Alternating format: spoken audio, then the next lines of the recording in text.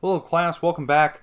Uh, thanks for tuning in. Um, I know kind of tough times right now. Hopefully you're healthy. Hopefully your family's healthy. Um, but I'm just going to jump right in here. Um, for those participating in the uh, the online you know learning opportunities, thank you for that. Um, if you haven't had a chance to do that, maybe you should try out some of those Google Forms I've been sending out, or some of the, the web addresses and different activities you can be doing.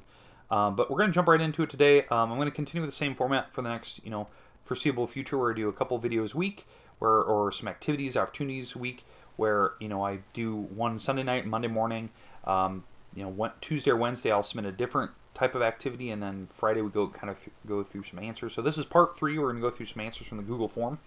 And the topic we're still in is radicals and roots.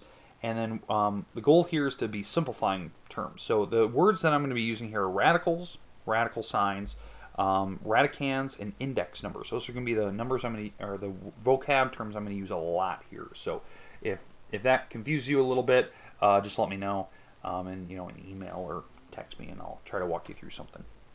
I got about 11 problems picked out here. We're just going to kind of go through the Google form that I submitted on, you know, Sunday night, Monday morning. So right now, uh, let's jump right into it. So square root of 27. Uh, this is a square root, so the index number is a 2, so we're looking for pairs of numbers. So 27 is 3 times 9. And then if you break down 9 even further, that is 3 times 3. So that's breaking down this as far as you can. You can rearrange the order if you want. But I'm looking for pairs. That's what that little index number tells me. Well, I have a pair of threes. It doesn't matter which pair you pick up, but I do have one pair. So you kick one out and you cross one out. That's how it works with these pairs. So one's going to go to the outside and one disappears. Well, there was in that radical, there was still one three that I never circled. It was that one. So that just sticks around. That just stays in the radical. And this is your answer. Now the square root of 27, if you actually type that in a calculator, it's like 5.196 or something like that. That is the same answer this would give you. It's the same number on a calculator. Um, it's just it's just written differently. This is the exact answer versus a decimal approximation because the calculator is approximating it. It's rounding off. All right, so that's kind of the idea what we're doing, but we're going to be doing this for much, much harder problems as we go. So uh, let's jump right into the, this next one here. I'll switch up the colors as we go. Uh, so we have the square root of 125. So we're going to break this down. Again, we're looking for index number 2, so pairs of numbers. So 125 is 25 times 5 times x times x. And then breaking down 25 even further, that is 5 times 5. And times x times x. And so it looks like I have a couple pairs of numbers here, because again, my index number is still a 2. So I'm going to kick one of the 5's out, one of the x's out. So there's a 5 and x on the outside, those are multiplied together. And then on the inside, the only thing I didn't circle was the 5. And that just sticks around. This is your exact answer. That's the, the answer I'm looking for in the final the final part of this. So that's simplified version of a square root for that one. Uh, next one, same exact idea. I'll switch up the color again.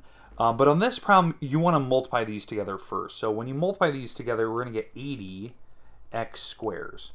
Uh, that's the first step. You can multiply. You can multiply any type of radical together as long as they're the same index number. So um, I'm going to multiply these together. I get 80x squared. And now I'm going to break these down. Now, maybe you want to go back to 8 and 10. Maybe you're a person that wants to go like 4 times 20 times x times x. It doesn't really matter as long as that you're dealing with a radical here. Um, breaking down the 4 even further, that's 2 times 2. Breaking down 20, that's 4 times 5. Or maybe you're a 10 and 2 type of person. Um, I'm going to break down the 4 even further here, so that's 2 times 2. These are all multiplied together. Okay, so that's as far as I can go. That is, you know, the prime factorization of 80x squared. And it looks like I do have a couple pairs in here. So I have a couple pairs of 2s. I have a pair of x's. So I'm going to kick those out and the 5 looks like it's left. So there's a 2 on the outside, another 2, and an x on the outside, and the 5 is left on the inside. That was the only one that didn't have a pair. And so this ends up being 4x root 5. So this is the idea what we're, we're trying to accomplish is we're trying to look at, you know, what is the best way or fastest way to simplify radicals. I know there's different methods of doing this, but I thought this is kind of the easiest way to show it. All right, let's jump right into the next one. So now we're going to be dealing with sum and difference. So sum and difference, you can't just add and subtract straight across. You have to break them down before you can attempt to add and subtract. So for 20, we did this one just a little bit ago. I'm going to break that down to 4 times 5. And then for the 6 root 5, that can't go anywhere because you can't break down root 5. I know 1 goes into it, but 1 goes into everything. So um, we're going to leave that one alone. Now the 4 root 5, I'm going to break down the 4 to be 2 times 2. And now I do have a pair of 2's, and so I can kick those out. So I have a 2 on the outside and a radical 5. And I have a 6 radical 5. So now we're at this point where we've simplified these down as far as we can. They do have the same radical, so you can add them. How you add them is you add the leading coefficients, the leading numbers out front. So this ends up being 8 radical 5s. That's how you add radicals together. They have to have the same radical for you to add them. If they're not the same, you can't do it. All right, let's jump right into the next one. Same exact idea, but I threw in variables here. So, breaking this down on breakdown 63, that is 9 times 7 times x. And then breaking down 9, that's 3 times 3 times 7 times x. Okay? And then the 28, that is 4 times 7 times x. And then the 4 is 2 times 2 times 7 times x. All right, so that's as far as I can break down. Again, the minus sign is just stays in the middle here. All right, so um, we have pairs because, again, we're looking at square roots here. The index number on the outside is a 2. Um, so I have a pair of 3s. I'm going to kick one of the 3s out. So I'm left with a 7x on the inside. Over here I have a pair of 2s. I'm going to kick one of those out. That's how it always works. One goes out. And then the idea is that now we look, yes, they have the same radical, so I can I can add and subtract the leading number out front. So 3 minus 2, that is 1 radical 7x. And again, if you want to write this just as radical 7x, that's fine. It's the same thing. The 1 is out front on everything. So, All right, let's jump right into the next one. We should be on problem number uh, 6 here. Um, so again, we're um, I just picked a problem, but on this one, I picked ones that had leading numbers out front. So this just to show you kind of what happens if there's already a number out front of the radical sign. All right, so um, what we're going to do here is we're going to break down the square root of 12, so that's 4 times 3. And then break down the 4 in the inside, that's 2 times 2 times 3. All right, and so we have a pair of 2's here. When I kick it out, that's going to join the 2 on the outside, and it'll multiply on. We always just multiply them on when you kick them out. And on the other side, on the, on the 75, I'm going to break that down to 25 times 3. And this breaks down to 5 times 5 times 3. And the 2 is just on the outside there and I have a pair of 5s, so I can kick that out, and that 5 will join the 2 on the outside and be multiplied on it.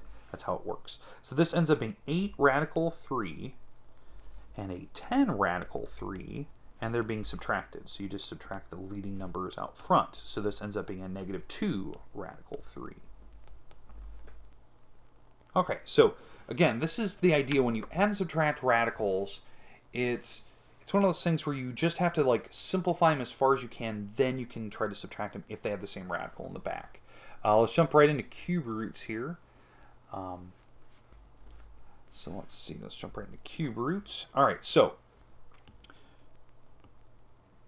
let's see, for cube root, uh, 150. So I'm going to try to break this down. So cube root, we're looking for an index number of 3. So we're looking for three numbers in the answer that match.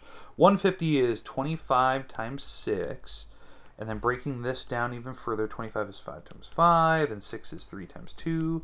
So it looks like I'm looking for an index number 3, so I'm looking for triplets on the inside. There's no triplets. None. There's a pair of 5s, but there's not a triplet of 5s. So the idea is that on this one, there's nothing to kick out. So we go back to the original problem where you multiply all these terms together, and we're back to 150. And that is the simplified version. There's no way to simplify that because there's no triplets. So, you know, I could have done this with square roots, but I, I chose to do it with a cube root just so you can see it like it's not going to always simplify. Sometimes there's not a lot you can do. Uh, we didn't do any problems uh, where there was lots of things left on the inside, but you just multiply them together. So that's the final answer. You can't do anything with it. So let's move on to uh, problem number eight here. So uh, we're doing cube roots. I'm going to multiply these together. So we'll do kind of a very similar situation here. I'm going to multiply these together. So because you can multiply any type of radical as long as they have the same index number. So this ends up being 48. And now I'm going to try to simplify this, see if there's any triplets on the inside. So 48, I can go back to 4 times uh, 4 times 12, or maybe you're a 16 and 3 type of person, but I'm going to go 4 times 12. Uh, breaking down the 4, that is 2 times 2. Breaking down the 12, that's 4 times 3. And breaking that down even further, that is 2 times 2 times 3. All right, so that's as far as I can go, breaking down the square root of 48. That's the prime factorization. There is a triplet of 2's in here. So again, when you have a triplet of 2's, you just kick one of them to the outside. And the things that are left are the things I didn't circle, which was the 2 and 3. And those will be multiplied together. So my final answer on this problem is 2 cube root of 6, because these two items multiplied together. And that's the final answer. It's the same answer as the square root of, or the cube root of 48, or the same thing as the cube roots of those two up above multiplied together.